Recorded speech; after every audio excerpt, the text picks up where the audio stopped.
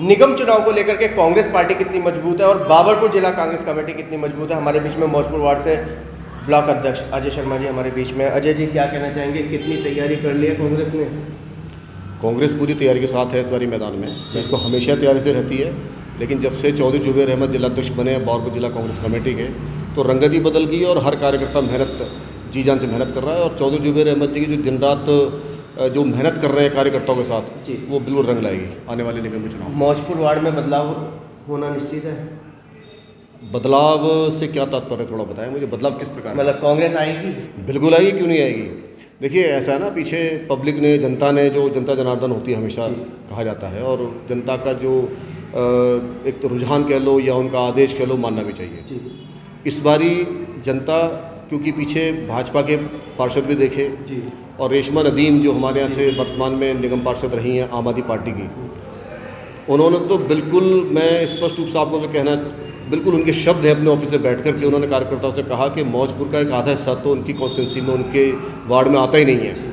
मौजपुर कह लो या अर्जुन मोहल्ला कह लो विजय मोहल्ला। तो वहाँ रहती हैं पर विजय मोहल्ले के लोग भी उनसे इतने त्रस्त हैं कि उनकी ऑफ़िस में जाने में भी कतराते हैं।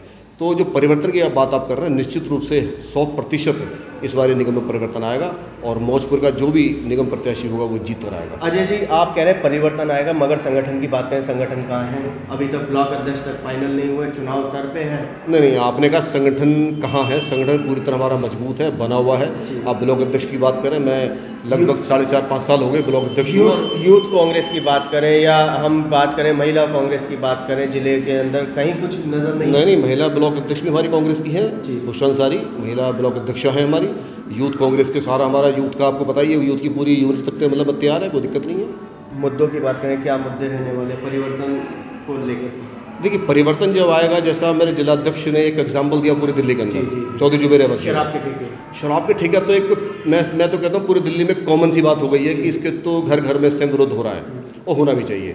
जी, शराब की नगरी पूरी दिल्ली उन्होंने बना दी उसको उसका विरोध होना भी चाहिए। बाबरपुर और- सौ फुटा रोड पर बात और वो सौ बटा रोड देखा आपने छः सात ठेके खुले हैं आप चले आए तो चौबीस घंटे इसके तरफ़ भीड़ रहती है कि आदमी घर में रोटी खाने को ना पर दारू पीने ज़रूर जाएगा। लंबी लंबी लाइन लग रही है उसको दारू चाहिए शराब चाहिए रोटी घर में बच्चों के लिए है या नहीं है। लेकिन ये आलम कर दिया है कि माहौल बहुत ज़्यादा ख़राब हो रहा है। वो तो विरोध है ही है। लेकिन जहाँ तक सवाल आपने कहा कि किस मजबूती के साथ आप निगम के इलेक्शन में जाना चाहते हैं मैं वो बता दूँ चौधरी जुबेर अहमद हमारे जो ब्लॉक अ, जिलाध्यक्ष हैं और चौहान बागड़ से जो उपचुनाव हुआ उसमें रिकॉर्ड तोड़ मतों से उन्होंने विजय हासिल करी। और दिल्ली में उन्होंने जितने काम एक साल के अंदर किए हैं वर्तमान निगम पार्षदों ने किसी ने भी नहीं किए। उन्होंने एक एग्ज़ाम्पल एक उदाहरण हमारे लिए दिया है। और देखिए सबसे बड़ी बात मैं कहना चाहता हूँ कि आज की डेट में जो हमारे कंजेस्टेड इलाके हैं जहाँ छोटे छोटे घर हैं बच्चों को पढ़ने में दिक्कत होती है उन्होंने अपने इलाके में जो एक लाइब्रेरी कन्याओं के लिए बालिकाओं के लिए बच्चों के लिए लाइब्रेरी बनाई है वो एक एग्ज़ाम्पल है। और हमने अपने जो बायोडाटाज दिए हैं हमारे सभी साथियों ने उसमें मैक्सिमम लोगों ने डिमांड की कि हम अपने जो प्रदेश अध्यक्ष से डिमांड की है कि आप एक अपने उसमें उसमें एक ये डालें कि भाई हर वार्ड में हर वार्ड में एक एमसीडी का पुस्तकालय होना आवश्यक है अनिवार्य हो बना के देंगे। और मैं अपने जिलाध्यक्ष की तरफ़ से भी और अपने सभी साथियों की तरफ़ से भी आपको आश्वस्त करना चाहता हूँ कि अगर कांग्रेस का प्रत्याशी जीत करके आता है निगम में तो मौजपुर के अंदर भी एक बालिकाओं के लिए पुस्तकालय अवश्य बनाएँगे। अजय जी दावेदारी कर रहे हैं चुनाव के लिए? दावेदारी देखिए मैं संगठन से जुड़ा हुआ हूँ। मेरे बहुत से साथी दावेदार कर रहे हैं। हमारे यहाँ संगठन सर्वोपरि है। और संगठन के साथ में मैं कहना चाहूँगा जैसे हमारे यहाँ परम आदरणी चौधरी मतीन अहमद जी हैं जिला अध्यक्ष हैं और प्रदेश अध्यक्ष हैं। पूरी एक सिस्टम है प्रत्याशियों को लाने का।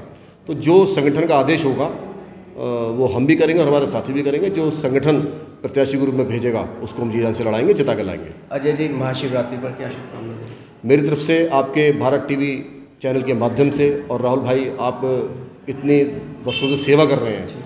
मैं आपके माध्यम से समस्त क्षेत्रवासियों को देशवासियों को अपने सभी बंधुओं को महाशिवरात्रि की अनंत अनंत शुभकामनाएँ देता हूँ हार्दिक बधाई देता हूँ शुभकामनाएँ। तो ये थे हमारे बीच में अजय शर्मा जी जिनका साफ़ तौर पर कहना है और वास्तव में देखा भी जाता है कांग्रेस पार्टी बच्चों को पढ़ाने के लिए प्रयास करती है और एक सरकार दिल्ली के अंदर है जो न, बच्चों को ही नशे की ओर धकेलती है। फ़र्क साफ़ है फैसला जनता ने करना है क्या सही क्या गलत? कैमरामैन पवन शर्मा के साथ राहुल शर्मा भारत टीवी के लिए।